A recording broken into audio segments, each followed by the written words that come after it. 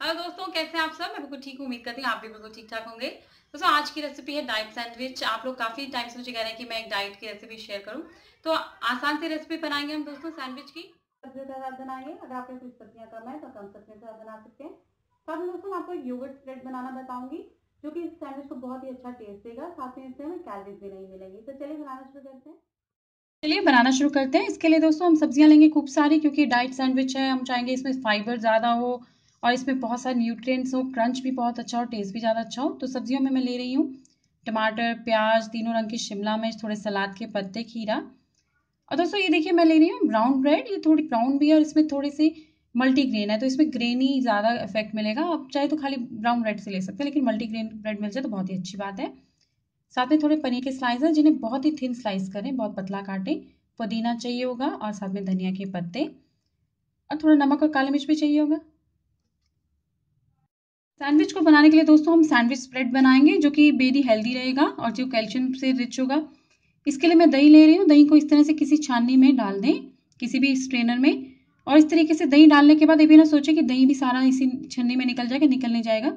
दही खुद ब खुद सील कर देगा और सिर्फ़ पानी ही दोस्तों ड्रेन होगा, बाकी दही जो है ऊपर रह जाएगा। तो आप इस तरीके से दही छाननी में डालें, उसे इस तरीके से नीचे एक बर्तन रखें और फ्रिज में दो से तीन घंटे रखें, जितना ज़्यादा रखेंगी उतना ज़्यादा पानी निकलेगा, उतना थिक दही हमें मिलेगा हंकट तैयार हो जाएगा। तो देखिए हंकट तैयार है, मैं इसे एक बर्तन में निकाल रही हूँ। ये मैंने बहुत ज़्यादा थिक नहीं किया है, थोड़ा क्रीमी रखा है। आप दही को बहुत अच्छे से बीट कर लीजिए, बड़े अच्छे से स्मूथ हमें क्रीमी टेक्सचर चाहिए इसका तो बीट कर लेंगे, दो मिनट बीट करें, ज़्यादा नहीं तो बहुत अच्छे से क्रीमी टेक्सचर तैयार हो जाएगा। मैंने दही को बहुत अच्छे से बीट कर लिया, मैं इसमें डालूँगी बारीक कटा हुआ धनिया और पुदीना। देखिए, मैंने जो धनिया और पुदीने के पत्ते रखे थे, उन्हें मैं बहुत बारीक काट लिया है, इन्हें अब हम मिक्स कर लेते हैं। इससे जो हम योगर्ट स्प्रेड या फिर कर्ड स्प्रेड बना रहे हैं बहुत अच्छा टेस्टी बनेगा। साथ में इसमें हम नमक और काली मिर्च डालेंगे। आप इसमें पुदीना ज़्यादा डाल सकती हैं काली मिर्च भी आपको अगर ब्लैक पेपर का फ्लेवर अच्छा आता है तो काली मिर्च ज़्यादा डाल सकती हैं। इसे अच्छे से मिक्स करें। तो इसे मैंने मिक्स कर लिया। मुझे लग रहा है इसमें थोड़ा सा मैं पुदीना और काली मिर्च और ऐड करूँगी तो मैं इसमें और पुदीना और, और काली मिर्च ऐड कर देती हूँ। इसे मिक्स कर लेते हैं।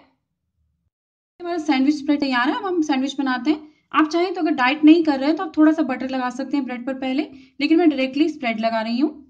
इस पर लगाएँ अपनी पसंद की सभी सब्ज़ियाँ जो आपको अच्छी लगती है, जैसे टमाटर थोड़े से लेटस यानी सलाद के पत्ते। आप बंद गोभी लगाना, गोभी लगा सकती हैं। इसमें अगर आपको दोस्तों प्याज अच्छा लगता है, प्याज लगाएँ। कैप्सिकम से बहुत जल्दी वेट लॉस होता है तो आप कैप्सिकम लगाएँ ग्रीन या कोई भी। इसमें प्याज लगा रही हूँ। अगर आप प्याज नहीं खाती तो अवॉइड करें। अब इसमें अपनी पसंद की कोई भी सब्ज़ी लगाएँ। अब देखिए पनीर लगा रही हूँ। देखिए पनीर के मैं तीन से चार स्लाइस लगाऊँगी, जिन्हें मैं बहुत ही पतला काटा है, जो टेस्ट देंगे लेकिन कैल्शियम देंगे, लेकिन इससे वेट नहीं पुट ऑन होगा। ब्रेड स्लाइस लेंगे, उसमें लगाएँगे हम अपना योगर्ट स्प्रेड जो हमने बनाया था।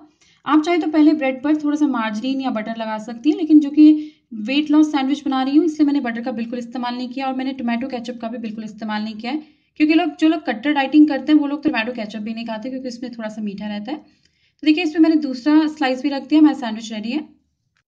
तो लीजिए दोस्तों, बनके तैयार हमारा healthy very tasty very crunchy और जो आप बाज़ार से जितने भी आप सब सैंडविचेस खाती हैं, उससे भी ज़्यादा बेहतरीन होगा क्योंकि हमने फ्रेशली बनाया है मल्टीग्रेन ब्रेड के साथ बनाया। अगर आपको मल्टीग्रेन ब्रेड नहीं मिल रही तो ब्राउन ब्रेड से बना सकती हैं। आप कोई भी लोफ जो कि होल होल व्हीट से बना, आप उससे बना सकती हैं। तो मैं सैंडविच तैयार है, चलिए इसे कट करके सर्व वही कर देते हैं। दोस्तों, मुझे उम्मीद है आपको ये गिल्ट फ्री सैंडविच बड़ा ही टेस्टी क्रंची सैंडविच जो कि आपका वज़न भी घटागा लेकिन आपके टेस्ट बर्ड्स को भी कूल रखेगा। तो इस उम्मीद के साथ कि आप ये सैंडविच ज़रूर ट्राई करेंगी, मैं चलती हूँ। अपना ख्याल रखें दोस्तों सेहतमंद है और मेरा चैनल कुक विद मोनिका ज़रूर सब्सक्राइब करें, लाइक करें ज़्यादा से ज़्यादा शेयर करें। आपका बहुत बहुत शुक्रिया।